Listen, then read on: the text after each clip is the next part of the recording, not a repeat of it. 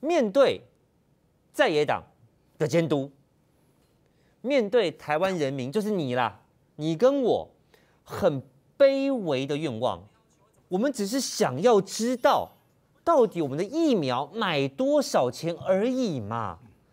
你要么心里有鬼，要么身上有屎，为什么不敢讲呢？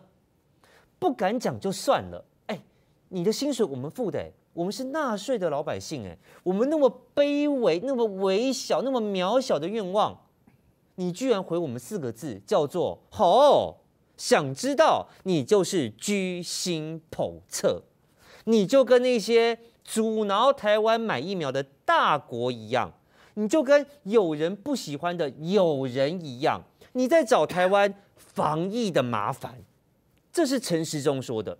你不能知道，你想知道就是坏人，就是混蛋，就是居心叵测，就是图谋不轨。好，按照这个逻辑，我想请问民进党的高官们，当你们口口声声答应要让我们的奥运英雄们，郭幸存啦，戴资颖啦，出国的路上，为国征战的路上，可以享受到最好的待遇，让他们在旅途当中好好的放松身心，为台湾夺金做好准备。但是，但是上了飞机以后，才发现，哎，奇怪了，这个总统院长。跟部长不是说我们可以舒服一点坐商务舱吗？怎么眼睛一看，哎呀，商务舱里面挤满了一堆官员呐，挤满了一堆穿西装的，挤满了一堆不用上战场也能够跟着分荣耀的官员们呐。那选什么呢？哎呦，我们只能坐在经济舱里面，有点挤，有点闷，但没办法，国家的安排，好吧。那我就发个即时动态来抱怨一下好了，来怀念一下过去做别家航空公司，我们都可以坐商务舱啊，怎么这一次我们被挤到后面来了，把位置都留给那些官员们坐了呢？这一发事情大炸锅，因为我说过了，总统、院长、部长，你们怎么答应人家的？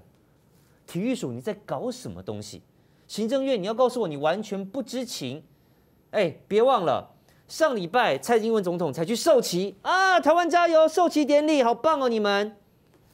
今天早上苏贞昌才去送机。今天记者会陈时中结束的时候，还拿一块牌子出来哦，冬奥英雄，台湾加油，为他们喝彩，为他们鼓励，帮他们打气。赖清德还抛脸书，希望大家一起努力为国争光。然后嘞，然后戴资颖抛了一个现实动态，打脸蔡英文，打脸苏贞昌，打脸赖清德，打脸陈时中。这是哪门子的加油啊？这是哪门子的鼓励呀？这就是你民进党政府为这些台湾骄傲、体坛健儿，要在奥运上面为国争光的勇士们、战士们。所做的准备吗？然后一个个发脸书道歉，一个个说要追查，一个个说要就责。然后呢？然后人家已经飞完了，然后那些官员已经爽爽坐在商务舱做完了。今天没有戴资颖的即时动态，这件事情不会曝光。戴资颖没有要抱怨，他没有想要冲谁的康，他只是觉得有点纳闷，有点无奈。我想请问一下民进党的朋友。那一些答应人家却没做到的人，那一些明知道选手很辛苦，应该享受最好待遇，却强占商务舱座位的官员们，你们是不是居心叵测？你们是不是居心叵测？哦，又受旗的，又送机的，又加油的，又打气的，然后嘞，然后人家出国屁屁股拍一拍，没你的事了，表现的好。就是你有支持他们，表现的不好是他们不够努力，向来就是你们的逻辑啊！我再问一次，从上到下答应人家的没做到，上了飞机抢占商务舱座位的这些官员们、大官们，你们是不是居心叵测？陈时中啊，居心叵测要用在这里呀。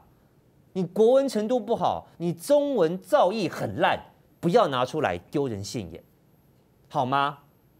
再来，我想请问一下，一个政务官，一个为国服务的官员，他可以在非假日上班时间带着妻儿，妻儿是无辜的哈，不要去找妻儿麻烦哈，有问题的是那个老爸哈，带着妻儿还有外佣。疑似接受了招待，去住高档 villa，甚至还能够脱口罩跟朋友尽兴聊天，甚至还可能去参加了一大堆人的参叙。被抓包还说谎，说谎就算了，这行政院里头的人还连着帮他想圆谎，等到照片曝光才不得不请辞。请辞没有用啊，陈正文先生，当中有一大堆的疑点啊，你都还没有厘清啊，这已经不是罚个五万十万可以了事的，你有没有渎职啊？你有没有涉及利益回避呀？你有没有贪赃枉法啊？这才是要查的吧？说谎做坏事被抓包，请辞就想断尾求生，陈时中，这个才叫居心叵测啊！当事情没有查清楚，行政院发言人急急忙忙出来要去圆谎，要去护航，陈时中，这才叫居心叵测啊！这个时候你才能够用居心叵测啊，懂吗？懂吗？指挥官，你学医的，你理工科的，你中文不好，不要乱用成语，乱用那就叫做丢人现眼，真的是丢人现眼。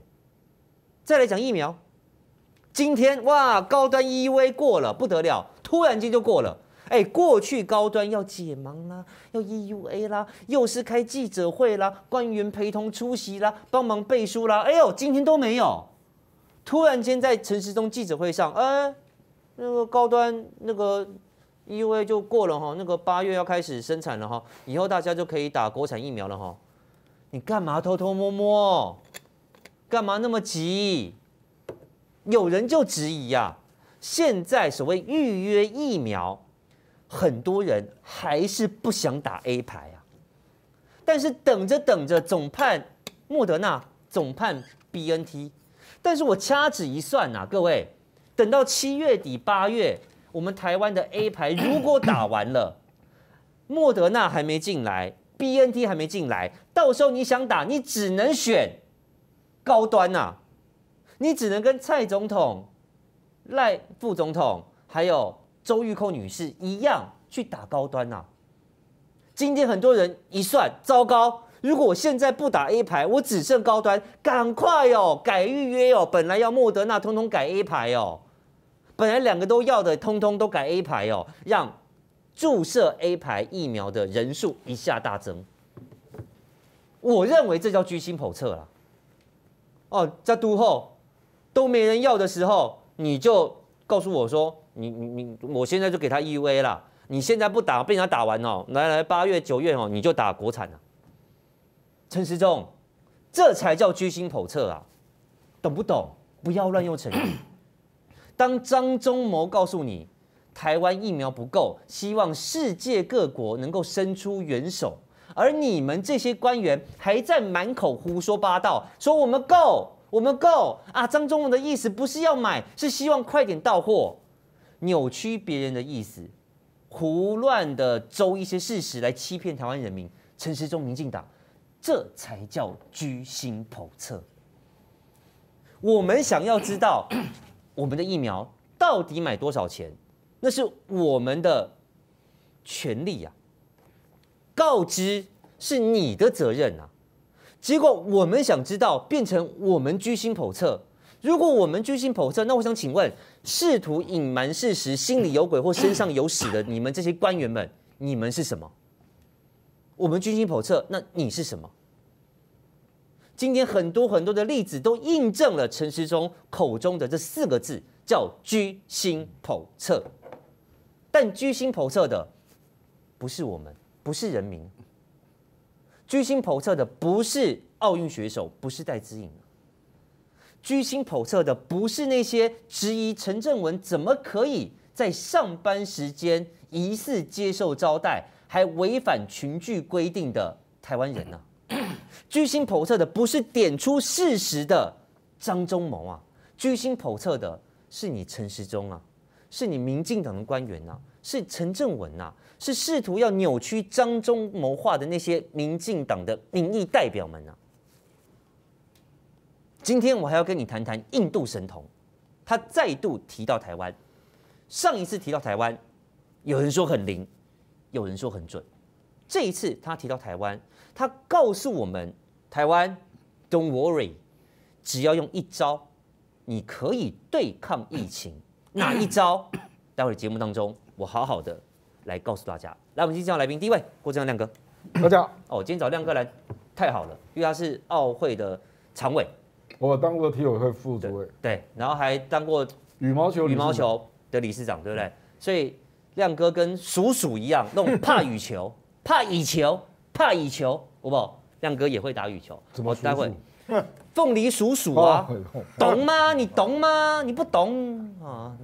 鼠鼠也怕羽球，亮哥嘛怕羽球，还有这个现在明明哥主持人好，大家好。来，今天题目很多，我们先直接进到，因为我本来头是要跟你讲陈时中啦，可是因为今天哈、这个奥运的事情发生的很突然，而且也在网络上引发了很高的讨论，所以我今天头我就要直接谈奥运这件事情，因为我真的看不下去，我真的，你你你们是有什么困难啊？哎，今天不是飞里约奥运呢，啊，也不是像我以前跑那个好久前，两两千二零一零年好像去那个南非世足赛。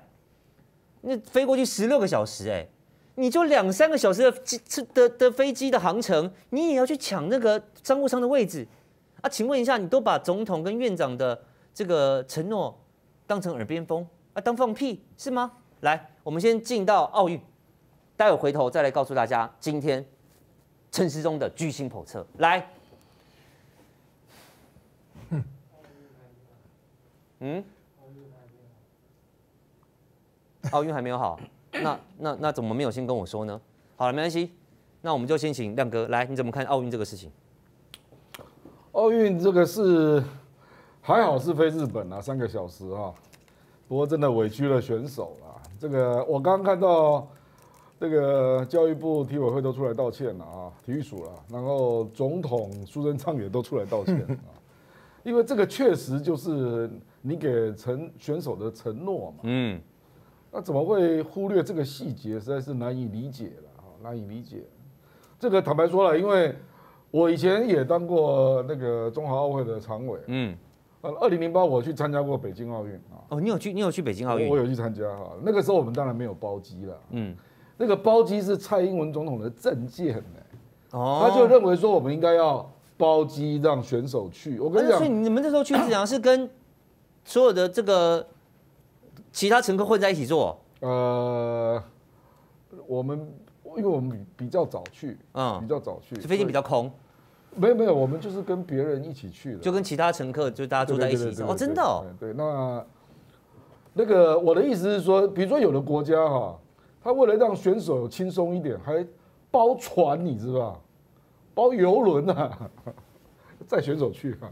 你说包游轮从海上走哦？对对对，因为北京嘛，那北京有时候日本去就可以不用坐飞机啊嗯之类的啊，那比较舒服啦。嗯嗯，哦那有的因为看你的代表团有多大了啊。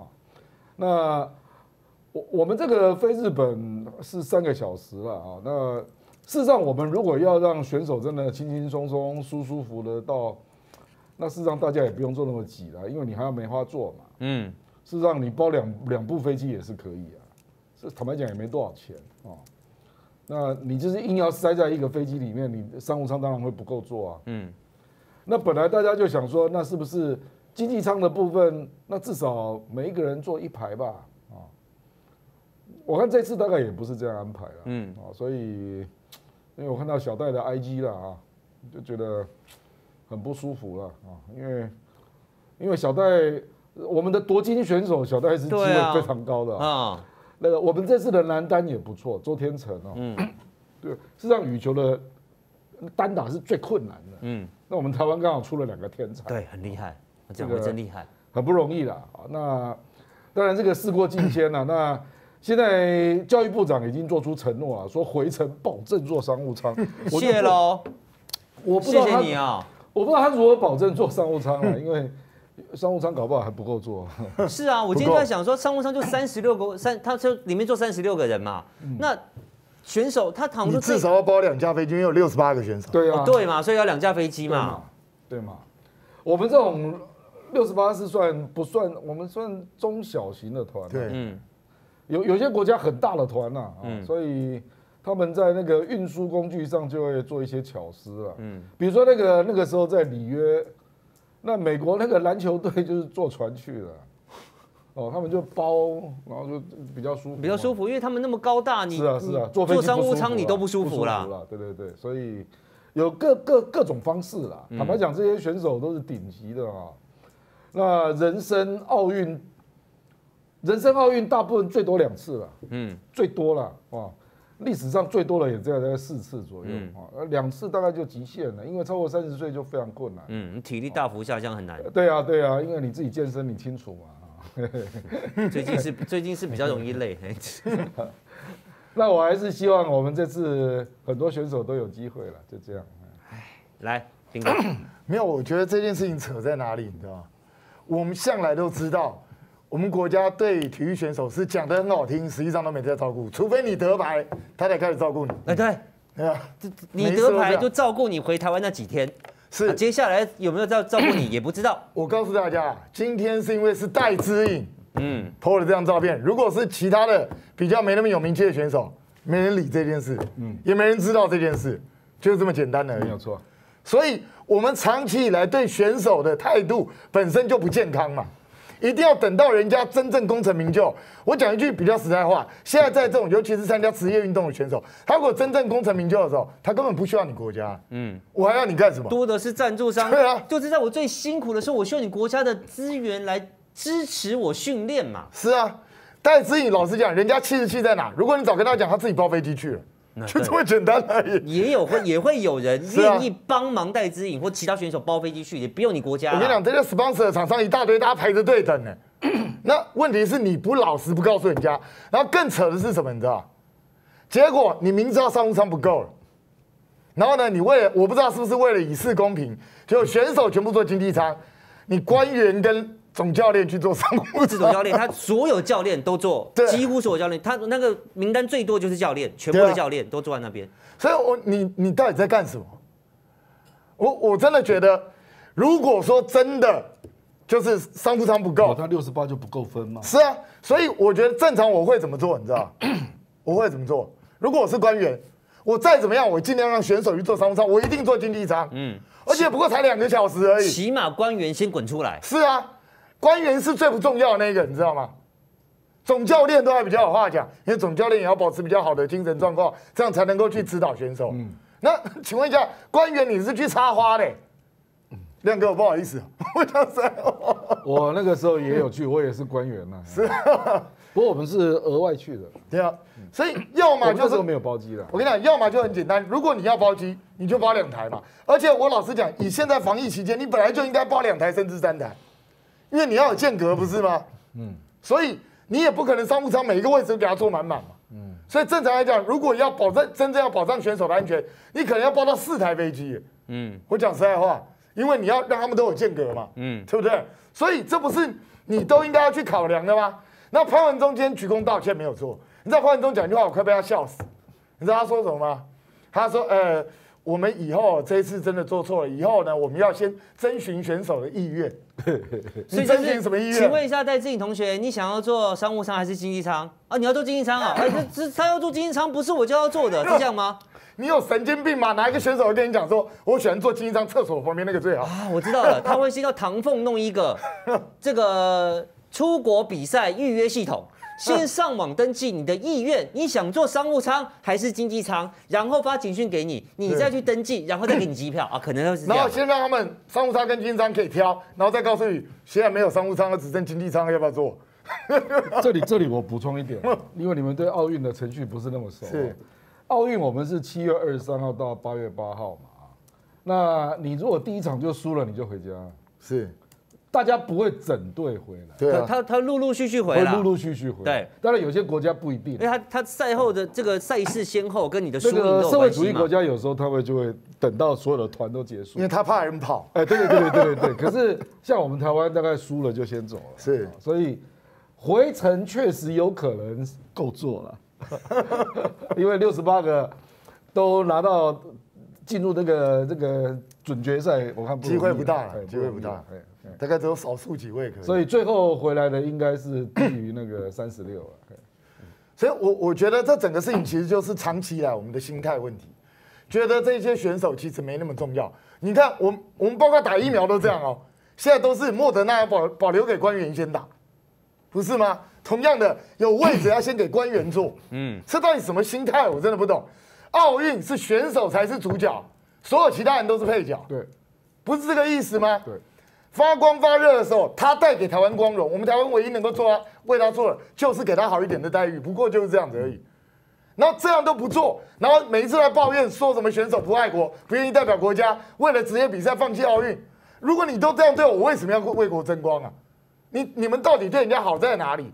我讲的比较那个一点，包括戴志颖这一种等级的选手，他其实根本不需要帮你打什么奥运。我讲实在话，他去参加职业比赛赚的钱更多。嗯，他他为什么要来去做这个东西？有的时候也是一份光荣感嘛，也是他以出生为台湾为荣，以代表台湾为荣嘛。那我们有好不容易出这样一些好选手，你为什么不能够最起码的好好对待人家一下？我真的搞不懂。其实过去好几次奥运发生过很多事，那个选手有的连吃的都吃不好，嗯到最后每一个都要自己准备泡面，自己准备干什么？我们连这种最基本的需求都没有办法满足选手，那为什么人家要帮你拼命呢？所以真的拜托，我觉得体委会哦，还有整个教育部哦，你们对选手态度要彻头彻尾的改变，不要再官大权威大，要搞清楚体育选手才是主角，你们全部都是配角。听到没？都是配角，那一些做承诺、答应的哈没做到的，而那些明明知道应该让位给选手，还好意思坐在商务舱爽爽给我飞日本的官员，你们才是居心叵测啊，还是居心叵测。我相信这个新闻哈，明天会更发酵。明天我们再来跟大家好好的谈一谈。来，我们直接进今天的封面，来看看“居心叵测”这四个字从哪来的。来。我们都想知道，到底现在我们台湾的疫苗卖多少钱？红海可以讲啊，台积电也能说啊。哎，国外美国买多少钱？A Z 啊，欧盟买多少钱？啊，莫德纳美国买多少？欧盟买多少？B N T 美国买多少？欧盟买多少？交生美国买多少？哦，欧盟买多少？这都是公开资讯啊。为什么到了台湾就变成机密呢？比买军火、买飞机、买飞弹、买武器、买坦克、买战车、买鱼雷、买潜舰还要机密啊！没有一个人能知道啊！据说连苏贞昌都不知道啊！全台湾大概陈时中最清楚啊，这个人最清楚啊，但他打死不跟你说啊，然后还被抓包，哎、啊，怎么已经用用了六十七亿，但算一算买进来的疫苗也才价值十亿啊？那有四五十亿哪去了呢？大家很想知道嘛，那是我们的纳税钱嘛。除了是我们的纳税钱，也攸关我们什么时候能够拿到花钱买的疫苗嘛？什么时候能到货嘛？什么时候不用再被政府逼着要打 A 牌嘛？或是没有 A 牌你就去打高端、打国产嘛？这是我们很卑微的愿望。但是当我们持续的追问，想要陈时中给大家一个答案的时候，他呛瞎了。他不爽啊，哎，他生气，不晓得是不是恼羞啦，还是不耐烦？我觉得不耐烦更多一点，就是，哎，你们有完没完呐、好了没啊？不要一直问好不好？再问的人，我讲实在话，叫做居心叵测，因为你们就是想要我讲出价格，让合约破局，你们就是想要我讲出价格，让别人攻击。你们就是希望我讲出价格，再让有心的大国来阻挡台湾取得疫苗，所以你们居心叵测。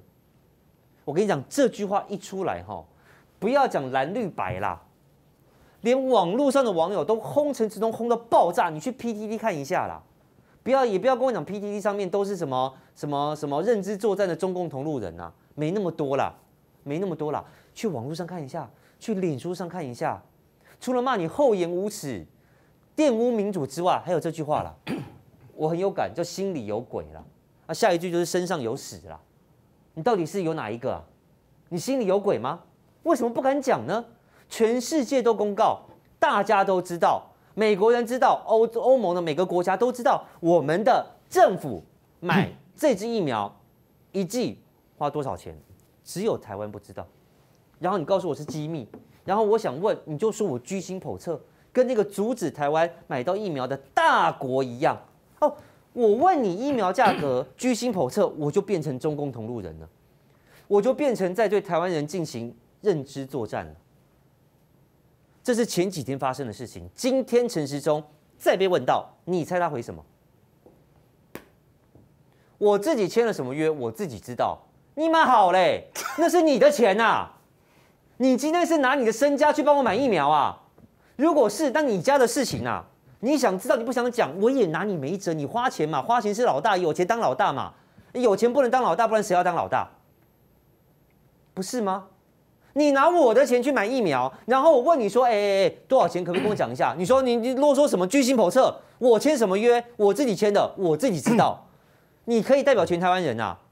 你好大，亮哥说得好，你真大，我真怕陈时中。然后再继续扯啊，如果公布出来哈、又会受到呃干扰，会受到干预啊，可能疫苗又进不来了。你当我是三岁小孩啊？你跟人家签约了，连钱都已经付出去了，不管是签约金还是你付清，他如果不给疫苗，是他毁约，他要赔我嘞，我还怕讲出来别人干扰嘞。你没有买过房子啊？你没有买过车子啊？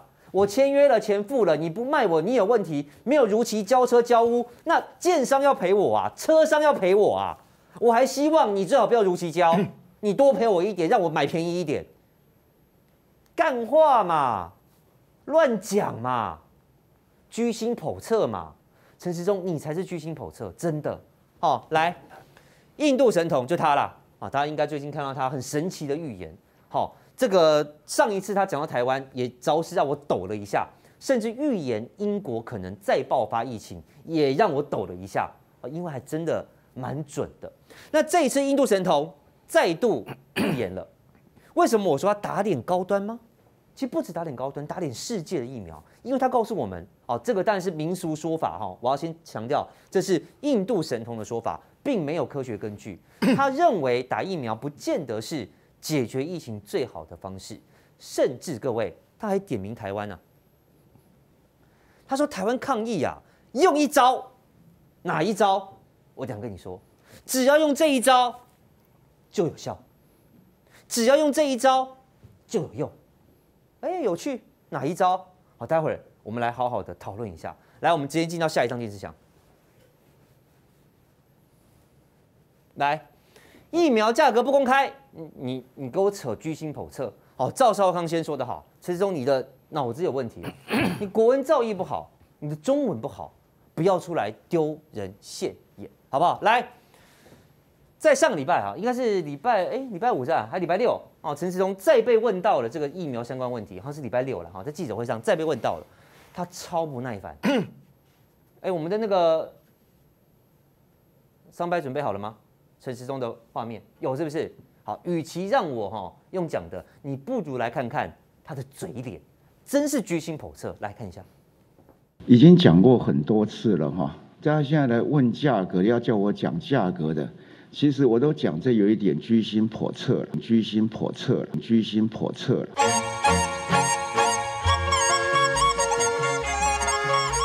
好，因为所以我跟跟大家讲过，现在进货是我们最大的困难，所有的合约里面都写得清清楚楚，好，就价格这是属于双方保密的一个事项。那如果破坏了这样的保密事项，就会影响到我们合约的有效性跟进货的一个时程。好，所以我也拜托各位，好，这是一个属于哈现在购买疫苗里面一个必须保密的事项在的。好，那大家现在都是怕进货受到干扰，那也不要因为这样子而让我们的进货真正的受到干扰。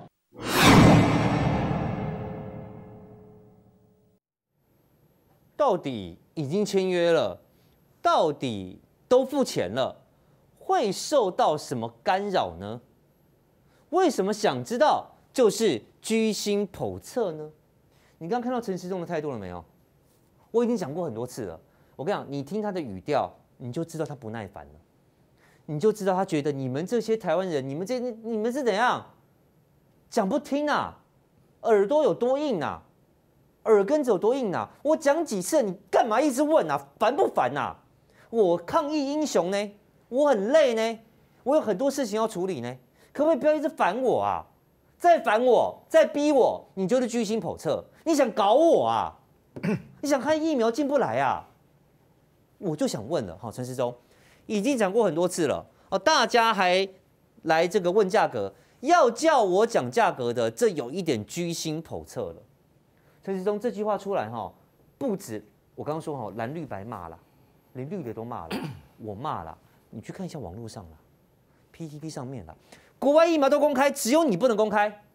有什么好不公开的？以前福茂说公开透明、人民监督，现在讲疫苗价钱叫做居心叵测，不敢公开，看到没有？心里有鬼啦，怕有人不开心，谁不开心啊？我觉得以后都不用咨询了，每项议题都说是机密。原来疫苗价格比国防预算还要机密。你你每天被骂，你真的晚上都睡得很很安心吗？啊，指挥官。我跟你讲啊，我今天也看到侧翼在帮他护啊，还有人在护航啊？有有有，因为他们就是引用。我跟你讲，他的所有的 case 就只有那个 case 啊啊。去年十二月十八号，比利时的卫生部长，因为他在国会被人家追问，所以他非常生气，结果他就在推特公布了美国跟欧盟的采购价格，嗯，各项哦，嗯，结果欧洲才，美国才恍然大悟啊，啊，美国啦啊，因为美国发现。他连江森眼江省买的都比欧盟贵，对。啊，真江森眼江省美国买十块，欧盟买八点五，那 A Z 欧洲一定比较便宜嘛，欧洲只买了二点一九啊，然后美国是四块啊，然后 Moderna Moderna 欧洲一定比较贵了，嗯，欧洲是十八块，然后美国是十五块，我讲的都是美金了啊，那 B N T 虽然有美国辉瑞啊，欧洲那个美国最气的就是这一点。美国买十九点五，然后欧洲买十四点七六。那我先讲后续啊，我为什么说陈时中他们那个都胡说八道？嗯，因为后来辉瑞确实就抗议那个比利时卫生部长。嗯，因为这个让他站不住面子嘛。嗯，美国买十十九点五，欧洲买十四点七六，我我美国辉瑞怎么对对美国交代啊？啊，所以他就对他警告，他就说你这个会影响你后续的谈判。嗯。啊，就说你如果以后还要买我辉瑞了，而不是进货啦，嗯，不要讲错好不好？我讲的是未来谈判的价格啦，他就警告他了啊。可是我跟你讲啊，全世界有没有人理这件事？没有，继续公布。我跟你讲啊，后 所以 A Z 还有人专门做这个研究嘞，叫做疫苗采购的比较研究，各国的价格都被公布了啦。啊，我举例了啊，比如说我我们刚刚讲 A Z。比如说印度就是买五块钱，嗯，结果有人家发现有一个国家很可怕，叫乌干达啦，你知道吧？嗯，乌干达买八点五，乌干达是多穷的国家，对，结果他 A Z 居然买八点五美元一剂，嗯，这个没有贪污谁相信啊？你你懂我意思？那人家在研究这个，当然就在看你的政府的效能嘛，对，那你怎么去采购数量？怎么去谈判？啊，怎么去？部里的局了，对，就是你怎么防疫了，这个是有很多面向的，所以人家在做研究嘛。陈时中讲的我同意了，因为他作为部长，他不能够开记者会这样公开跟记者或者大众讲价格了啊。可是全世界都是怎么方式？你你不能够说全世界因为这样，所以大家都对疫苗公司没辙了。嗯，哎，你是用政府预算呢？当然，我都不能监督纳税钱呢。所以他们都是透过什么方式？他们让国会去开秘密会议。嗯。然后你行政单位就要把合约给国会议员看，议员就会知道，然后就会有人放出去嘛，立委就会知道，对，那你不能够说是我卫生部讲的啊，嗯嗯，你懂我意思？可是这样也对疫苗公司产生了制衡的效果，对，你知道我的意思？嗯，这个就是我们讲的政治的巧妙了，就是说，这个这个事情是花那么大的钱，你既然不不接受监督，这是不可能的事了，嗯，民主国家不可能接受这种事了。所以你一定是秘密会议嘛，然后那个那个价格还是被大众知道了，可是疫苗公司不能够去怪卫生部啊，对啊，就是这样你去怪立委，立委讲的啊。呃，也你也不知道是哪个立委了，好吧？不管怎样嘛哈，那我的意思就是说，到最后价格人家还是会知道，嗯，然后知道了结果大概就会，这个制衡是有必要的嘛。第一个，我怎么知道你疫苗公司有没有跟那个政府的官员勾结啊？嗯哼，我怎么知道你有没有透过代理商？像乌干达那样买那么贵啊你？有没有你有透过你有没有透过代理商去 mark up 去加价？嗯我怎么知道？对不对？那第第当然还有另外一个嘛，比如说我们到货率这么低嘛，嗯你是买太便宜了。嗯，那如果你太买太便宜，我还可以原谅你。对。所以所以你到我们买的货率这么便宜低嘛，来的慢，哎，我好像情有可原。谅解，对不对那，？如果你买的很贵，还来这么慢，来那么少，哎，那就有问题就了。怕这个，所以就 就怕这个，就怕这个，所以不敢公布嘛。就就。怕他妈你你买的很贵哈，对那还这么慢率又又很低啊啊，那所以我我说他，你不要这边吓人呐，你不要以为台湾懂英文的只有你啊，嗯嗯，英文比你好的人多嘞，真的，看过全世界疫苗相关研究、采购的比较研究，我就敢说我懂得比你多。嗯，哦，我事实上，我大概从今年三月我就陆续在找疫苗的价格，嗯，那个时候就陆续就不断有人放出来了。对，因为去年十二月十八那是一个大爆料嘛，嗯。就比利时那个，比利时那个。哦。那隔天华盛顿邮报就把那个列表，对对对，对对，华盛顿不是华盛顿邮报才不理你呢，嗯。嗯，怎么辉瑞是美国公司哎，华盛顿邮报就是华府最重要的政治报纸，照样把你弄出来。哎，你买的一大篇啊，然后说美国政府在干什么，对，就直接质疑啊，你看，这就是这就是这个才是媒体吗？对，这才是媒体嘛，这就是公布价钱的意义所在那我跟你讲，后来美国的 BNT 的价格确实就降下来了，啊。当然，就是辉瑞了，辉瑞嗯就给它降价了啊。呃，所以我我的意思就是说，这这里面就是我们就陆续看到，从去年十二月十八报了这个新闻之后，这个是比较美国跟欧盟啊。那接下来就每一个国家就陆陆续续就有人开始丢出来了。嗯哦，比如说以色列，你也讲过嘛，嗯，人家花了三倍的价格去买，三倍，对不对？可是他确保他的到它货，快啊，对不对？所以老百姓接受，对啊，因为你讲的有道理，嗯到货快嘛。那以色列的人口就全部 cover 嘛，嗯，新加坡也是，对，他用高价去买嘛，那人民可以谅解嘛。所以你反而这种哈、不公开、不透明、偷偷摸摸，然后用各种借口去挡，人家才会怀疑你嘛。其实这里面最应该质疑的是民进党的卫环委员会的招委了，哎，因为事实上已经成立调阅小组了，对，你为什么不开会？嗯嗯，你为什么不开会嘛？你你不开会就是自我阉割权利嘛？当然，你怎么可以护航行政部门护航到这个程度呢？嗯对不对？你你可以要求开秘密会议啊。我参加过国防委员会、国防相关的军购的秘密会议啊，我们每个人都不能带手机啊，嗯然后都要签字的啊、嗯，然后看完资料要交回的啊，对，那个有一定的程序要走嘛，你也可以比照办理啊，嗯。你可以比照办理啊。那我不知道他在怕什么了，哦，我我不相信啊，说这个东西公布了之后，中国有办法去干预了。怎么可能？我们现在 A Z 是英国，莫德纳是美国，这两个国家刚好就是全世界最不怕中国的，哎，对，对不对？整天要跟人家弄来弄去的，那美国美国是莫德纳嘛，哦，那莫德纳的价格，我就听到了很多疯传呐、嗯。说买的不便宜啊，嗯。那你嗯们公布来看看啊，嗯，对不对？那美国会因为这样不不出货吗？嗯。不可能啊，人家连两百五十万都在送你了，对呀，而且还要搞不好再考虑让台湾代工了。对呀，怎么可能会在乎这个价格呢？